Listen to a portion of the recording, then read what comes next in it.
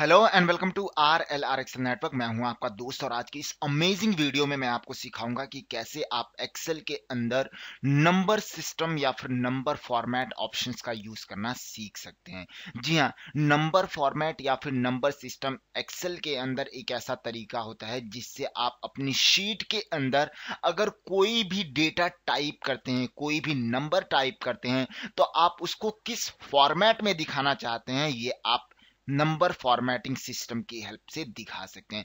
ये बहुत खूबसूरत फीचर होता है आपके एक्सेल के अंदर और आप इस नंबर फॉर्मेटिंग ऑप्शंस की मदद से अपने डेटा को जनरल में, नंबर्स में, डेट में, टाइम में, करेंसी में, अकाउंटेंसी में जैसे भी आप दिखाना चाहें दिखा सकते हैं। और इस वीडियो के अंदर हम डिटेल में एक से लेकर सभी ऑप्शंस का यूज़ करना सीखेंगे।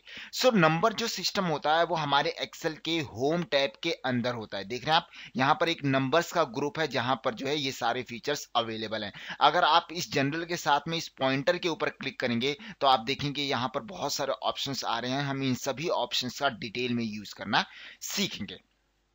तो चलते हैं अपने नंबर फॉर्मेट के ऊपर और यूज़ करना सीखते हैं, जिसमें सबसे पहला जो ऑप्शन होता है, वो होता है जनरल जनरल यानी कि यहाँ पर लिखा हुआ है नो स्पेसिफिक फॉर्मेट मतलब कि अगर आप एक्सेल की शीट के अंदर अपने सेल में कुछ भी टाइप करते हैं तो जैसे आप टाइप करते हैं, वैसे ही अगर आप दिखाना चाह रहे हैं तो उसके लिए आप जनरल ऑप्शंस का यूज़ कर सकते हैं। बाय डिफ़ॉल्ट एक्सेल के अंदर जितने भी सेल्स मौजूद होते हैं, वो सारे के सारे जनरल फॉर्मेट या फिर किसी भी एक स्पेसिफिक फॉर्मेट में डिफाइन नहीं होते हैं। वो एक डिफ़ॉल्ट फॉर्मेट में होते हैं। यानी कि अगर आप कोई चीज़ टाइप करते हैं तो आप जैसे टाइप करते हैं, वैसे ही आपकी शीट के अंदर नज़र आता है। जैसे मान लीजिए मैं अपना नाम टाइप करता हूँ तो आप देखेंगे मैंने अपना नाम टाइप किया और वो ऐसे ही दिखा रहा है। फॉर एग्ज़ाम्पल के लिए मैंने कोई नंबर टाइप किया तो आप देखेंगे कि वो नंबर भी ऐसे ही दिखा रहा है। यानी कि जनरल फॉर्मेट का मतलब होता है कोई भी फॉर्मेट नहीं। जैसा टाइप किया, वैसा ही दिखाए उसको बोलते हैं हम जनरल फॉर्मेट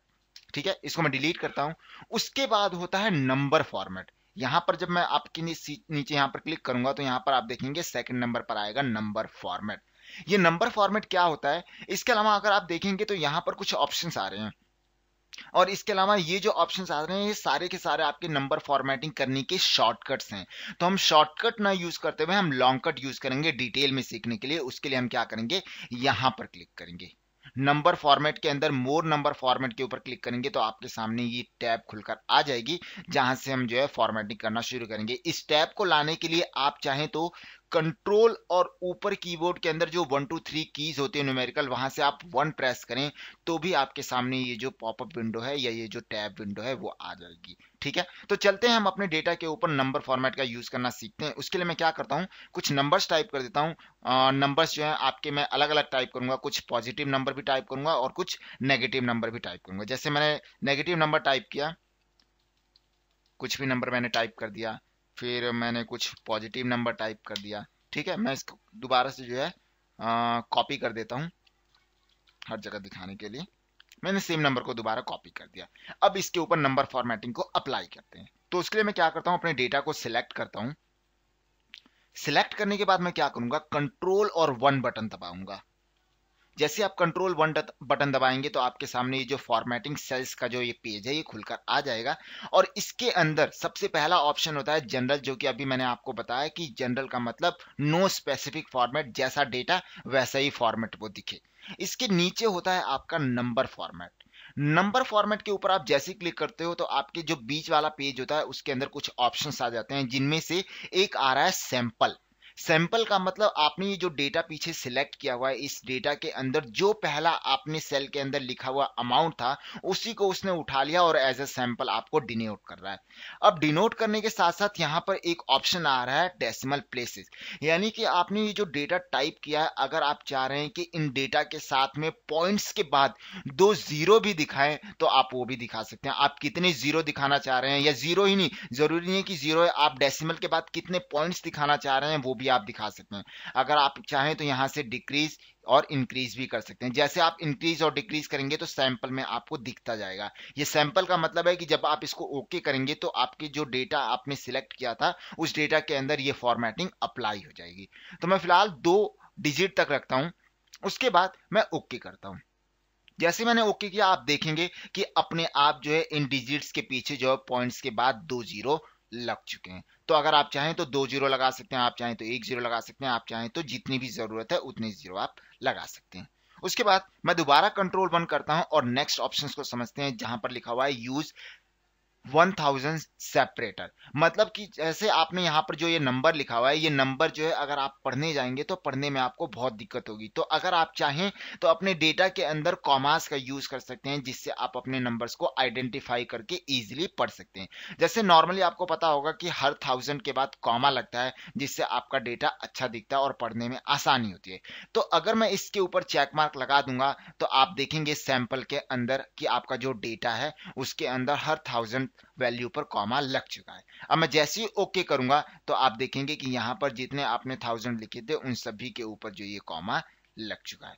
आप साथ ही साथ देखेंगे तो ये वाला जो नंबर सेल था, इसके अंदर हैश हैश का ऑप्शन भी आ चुका है। एक्सेल के अंदर हैश हैश का ऑप्शन तभी आता है जब आप अपने सेल के अंदर किसी एक ऐसे नंबर को लिख देते हैं जो कि आपके उस सेल के अंदर कैपेबल नहीं होता, यानी कि उस सेल के अंदर एडजस्ट नहीं हो पाता है। तो आप क्या कर सकते हैं, अपने सेल्स की विर्थ को बढ़ा सकते हैं। आप ऐसे कर सकते हैं तो आपके सेल्स की जो विर्थ है, वो बढ़ जाएगी। या फिर जो है, आप ये भी कर सकते हैं कि अपने इस सेल्स के पॉइंटर के ऊपर जब आप क्लिक करेंगे तो आपका जो माउस का कर्जर वो प्लस में कन्वर्ट हो जाएगा। और जैसे आप डबल क्लिक करेंगे तो जितनी रिक्वायरमेंट होगी, उतनी जो है स्पेस इस सेल के अंदर अवेलेबल हो जाएगा।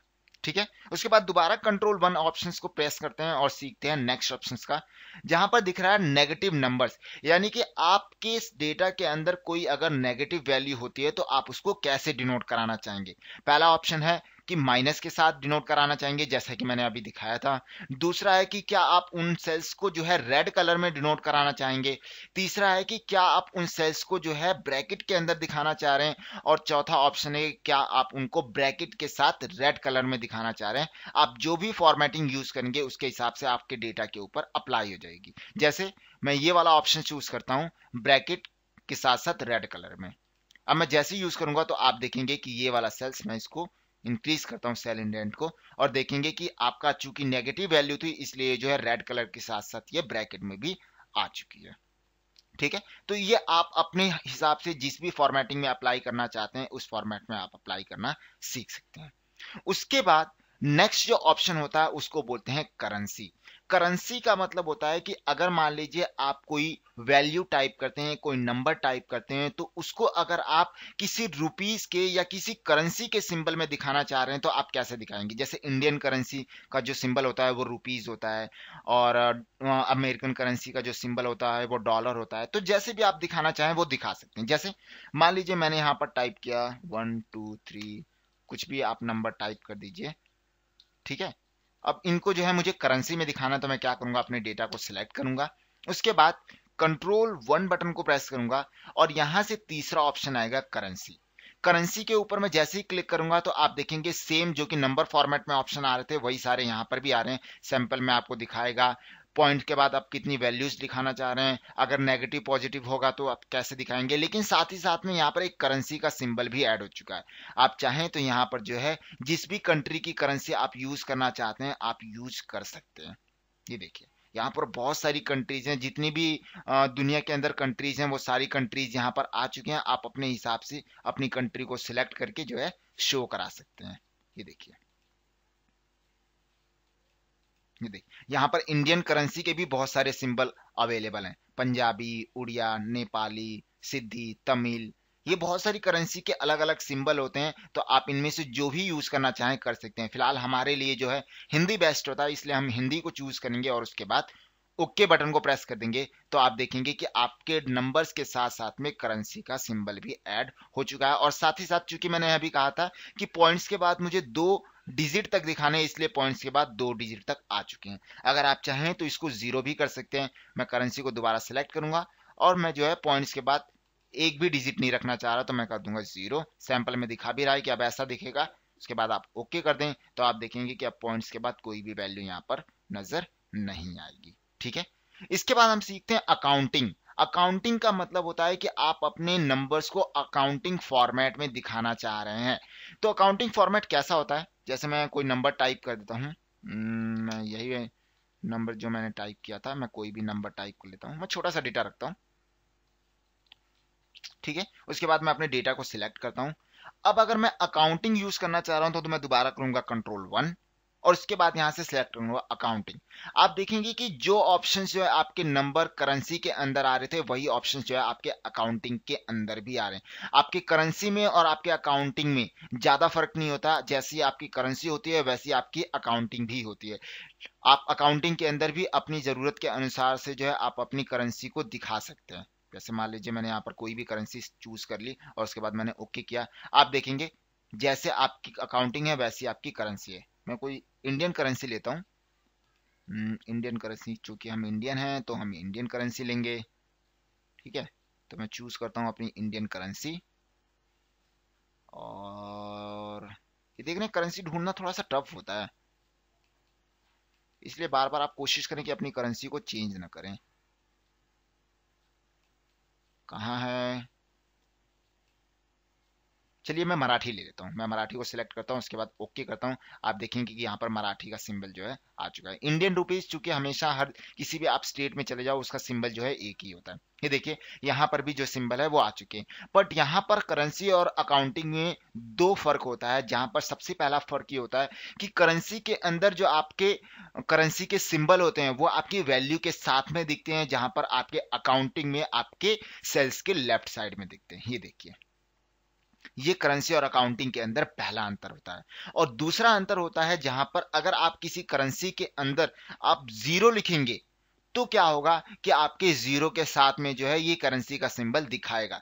लेकिन अगर आप अकाउंटिंग के अंदर कहीं ज़ीरो लिखेंगे तो वो उसको जो है एज अ डैश दिखाएगा। ये दो अंतर होता है करेंसी और अकाउंटिंग सिंबल के अंदर। ठीक है? चलिए सीखते हैं अब नेक्स्ट डेट ऑप्शंस का यूज़ करना। अब डेट ऑप्शंस का मतलब होता है कि जब भी अगर आप एक्सेल के अंदर कोई नंबर टाइप करते हैं तो आप चाहें तो उस नंबर को जो है डेट में भी शो करा सकते हैं। ये डेट के ऊपर मैंने अपनी एक बहुत ही अच्छी वीडियो बनाई हुई है, जहाँ पर आप डेट और टाइम से रिलेटेड सारी चीज़ें जान सकते हैं कि डेट क्या होता है डेट की स्टार्टिंग कैसे होती है डेट को अगर हम कोई नंबर टाइप करते हैं तो वो डेट में कैसे कन्वर्ट हो जाता है क्या प्रोसेस होता है, ये सारा चीज़ जो है मैंने उस वीडियो के अंदर बताया हुआ है। मैं आपको उस वीडियो का लिंक अपनी इस वीडियो के डिस्क्रिप्शन में डाल दूँगा, आप वहाँ से जाकर सीख सकते हैं। डेट और टाइम की बहुत खूबसूरत वीडियो है। फ़िलहाल, अगर मैं यहाँ पर कोई डेट टाइप करता हूँ, मैं डेट टाइप करने के लिए शॉर्टकट की यूज़ करता हूँ कंट्रोल कॉलन एंटर करूँगा तो आप देखेंगे यहाँ पर डेट ऑटोमेटिकली आ जाएगी। डेट आई है कि पहले जो आ रहा है वो है मंथ जो कि आप देख सकते हैं ट्वेल्थ मंथ जो कि दिसंबर चल रहा है।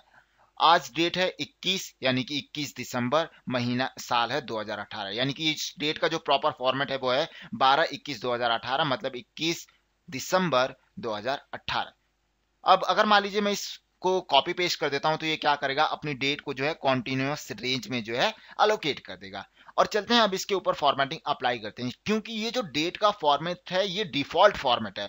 अगर मुझे इसको किसी और तरीके से दिखाना है तो मैं उसको दिखा सकता हूँ, उसके लिए मैं करूँगा कंट्रोल वन उसके बाद यहाँ पर आ रहा है डेट का ऑप्शन जो कि बाय डिफ़ॉल्ट सिलेक्टेड है। अब यहाँ पर आप देखेंगे कि जो सैंपल में है, वो ये है। आप यहाँ से जो भी डेट का फॉर्मेट यूज़ करेंगे, उसके हिसाब से सैंपल में दिखाएगा कि आप अगर ओके okay करेंगे तो आपकी जितनी ये डेट सिलेक्टेड है, ये सारी इस तरीके से नज़र आएँगी। जैसे मैंने कर दिया ओके okay. अब आप देखेंगे कि आपके जो डेट का फॉर्मेट है सबका वो ऐसा हो गया, बड़ा फॉर्मेट हो चुका। अगर किसी और फॉर्मेट में दिखाना है तो आप वो भी दिखा सकते हैं।